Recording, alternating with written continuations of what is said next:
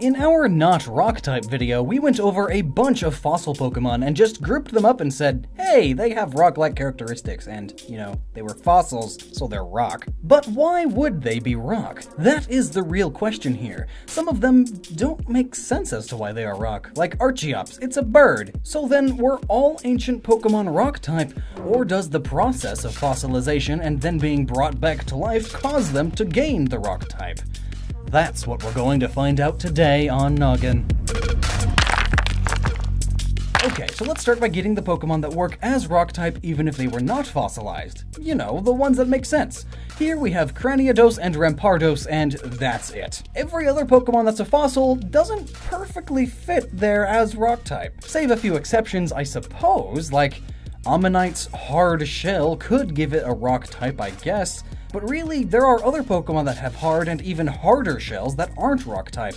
I mean, Shellder's shell is supposedly harder than Diamond's. You know, a kind of stone and yet Shellder isn't rock type. So now we actually need to get into this theory. Sorry if it's a bit bare bones right now, but I'm sure we can put some meat on it. So why are the fossil Pokemon rock type? Well, all of them come from fossils, right? It's in their categorical names. And fossils are just rocks shaped like a skeleton or tissue left by the organic matter. Somehow, all the Jurassic Park, scientists in the Pokemon world have come up with a way to revive Pokemon from just fossils. So what if this revival process adds the rock type as a side effect? In essence, these Pokemon weren't rock type to begin with. Bear with me here. It's much like how many other Pokemon have been changed by humans in some shape or way. Take a look at Wormadam. It's able to become Steel type because of its environment in human cities. So it doesn't take much to change a Pokemon's typing, it seems. You could also take Genesect, a fossil Pokemon that was altered by Team Plasma. Its typing is now Bug Steel, and we can see why it gains these traits. Its bug-like body and appearance, and its steel outer shell along with its drive cannon. So who's to say it wasn't Bug Rock or Bug Water, possibly something entirely different when it was non-extinct millions of years ago?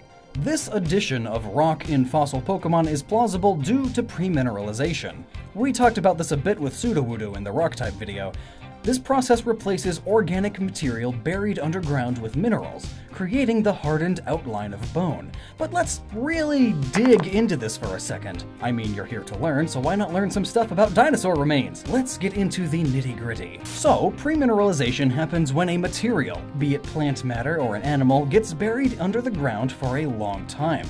Due to the flow of water through the material, minerals get carried by the water and deposited in place of the decaying organic materials, essentially creating a mineral internal cast of the tissue a skeleton of what was. Now, in plants, this process can preserve many pieces of information, as plant cell walls are a bit more hardy than the squishy flesh walls. Now, after premineralization occurs, this tissue is fossilized. It now has similar characteristics to rocks and minerals. And since these fossils are used in the revival process, their entire skeletons may get made from this rocky fossil substance. And this perhaps causes the Pokemon to gain a new typing. Rock. Thus, all fossil Pokemon are rock. Or perhaps these scientists do not have a complete genetic map of the Pokemon. So they filled in the blanks with the more simplistic rock Pokemon DNA, giving it the rock typing. Much like in Jurassic Park, they didn't have all of the dinosaur DNA, so they just filled the gaps with some frog, which did have some side effects. But then, if most of these fossil Pokemon were not rock type back in the ancient times, then what would their types have been? Let's theorize about that for a moment. Let's start with Omanyte and Omastar. Beyond the water typing, they could realistically be rock type before the process because of their armor shell, but as stated, that's pushing it a little bit. Kabuto and Kabutops I could see as being the same typing as Wimpod and Golisopod, bug water, that is, as they too are based off of the trilobite horseshoe crab. These are a common type of arthropod that lived on the seafloor, and the last time I checked, most anthropods in Pokemon are at least bug type. Aerodactyl is an interesting case. This guy pretty much is only rock type because I, I, guess because it looks like a dinosaur. So perhaps in its natural state it should be Flying Dragon. I mean, Lance has one for goodness sake. You know, the Dragon Master. Being based off of the prehistoric animal, the pterodactyl, may point somewhat to its rock flying typing. Its skin may be as tough as rock, perhaps? Hmm. Moving on to Cradily and Lileep, these little plants could easily have had water be their second typing after grass instead of rock. They are sea lilies, after all, and it's said that they attach themselves to rocks on the seafloor, not that they are rocks. Sheesh. Anorith and Armaldo, the old shrimp Pokemon, that's kind of mean Pokedex, are based off of anthropods. Well, Sort of. Anomalocaris are a commonly confused relative of the anthropod, but anyway, these Pokemon could easily be some combination of bug, water, or steel. The water being there based off of the Pokedex entries explaining how it swims so well through the water. Shieldon and Bastiodon should be ground steel. Almost every other heavy-set armored Pokemon is either rock, steel, or ground, and this particular Pokemon used to live in jungles, which don't sound too rocky to me. And in recent Pokedex entries, it's stated that only the face is ever ever found, meaning that its body must be rather soft, therefore not easily fossilized, meaning that all of its hardness is in its face.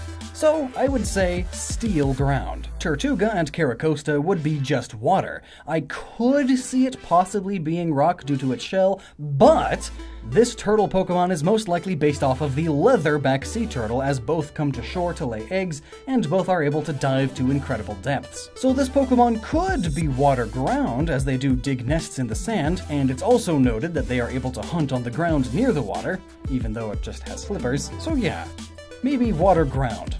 Archen and Archeops, much like Gligar and Gliscor, are Pokemon that can't really fly, even though it's a flying type. Instead, it uses its wings as stabilizers for when it runs super fast, and to get extra air when jumping, much like how modern day scientists think raptors used their wings. These Pokemon do seem to have a rocky hard beak, but really, what bird doesn't have a hard beak? That's kind of the point. Also, running at high speeds is normally attributed with being ground type in the Pokemon world. Side note, I could see Archeops being just ground type, whereas Archen could be flying ground, as it likes to hop from tree to tree, gliding in between. Tyrunt and Tyrantrum would possibly be Dark Dragon, due to the way they are said to have behaved, and behave nowadays, throwing tantrums constantly and just overall being violent and big and dragony. Amaura and Aurorus were brought back from samples that were frozen. So right away, theoretically, their ice typing may also be just because of the revival process. But based off of the Pokedex entries, they seem to have been a peaceful group that lived in the snow. Why reptilian beings lived in the cold, I'm not gonna question. But based off of their appearance, I could see them being a monotype of just ice. But if you had to give them a second type, it could possibly be fairy due to their ability to create an Aurora Borealis. So, in the case of all those Pokemon, they may not have been rock type initially, but got the rock type via the fossilization and revival process. But what if that wasn't the case? What if they were all rock type back in the day too? Well, why would that be?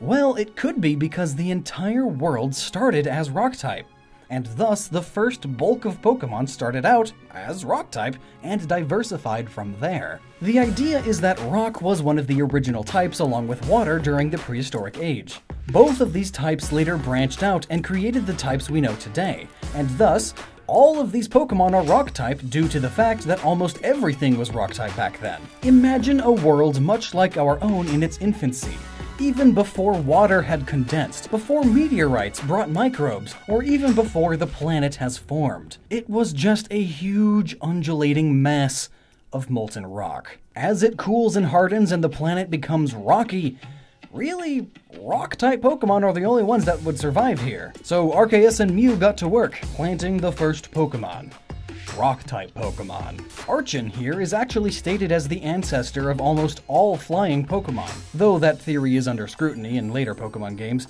but perhaps it was the first Pokemon to branch out of rock type and gain the flying type. This idea can stretch into the idea that most life on Earth back then was more similar, much less diverse than it is today. On our Earth for a long time, the most common type of animal were reptiles, dinosaurs. Similarly, for whatever reason, rock types thrived in early Pokemon Earth. And after all, so far, only well-preserved rock-type Pokemon have been found in good enough shape to be revived and given to trainers. It is also very possible that rock-type Pokemon at the time were just at an evolutionary advantage, perhaps due to the climate that was prehistoric Poke-Earth. Take a gander at the living fossil Pokemon Relicanth.